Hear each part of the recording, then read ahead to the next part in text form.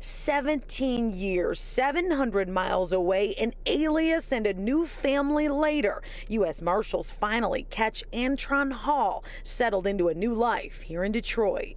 During the arrest, his his son and his wife were there, and uh, we asked we asked him, you know, on the side, hey, did, does, does your family know your your true identity? And he actually expressed to us that they didn't. He had to come clean. Just imagine that heartache for his family. Maybe if he would have just fessed up to this 17 years ago, he'd be out by now and, and have nothing to worry about, wouldn't have to, to lie to his family for so long. Deputy U.S. Marshal Gregory Yan, who worked this case, says it all started in Anderson County in South Carolina back in 2006. Hall was charged with trafficking cocaine and running from police. He stood trial down there and uh, bounced out of that trial about halfway through it.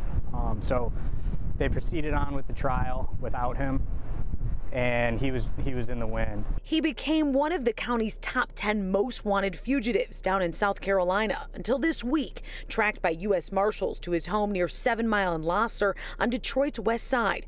A fingerprint match that stemmed from a traffic infraction in Detroit led marshals to him. He'd been using the alias Lehune Walton, a mashup of some family names. He almost seemed relieved when we caught him. He uh, he was telling us that it, it was a stressful life for him, looking over his shoulder all the time and, and not knowing what was going to be happening next. Deputy U.S. Marshal Yan says, let this all be a lesson that no matter how much time has passed, the marshals, they're on it, even almost two decades later. He's going to be transported back down to Anderson County, South Carolina, and put in front of the judge down there. Go through this all over again. Yes, ma'am. Reporting on Detroit's west side, Jessica Dupnack, Fox 2 News.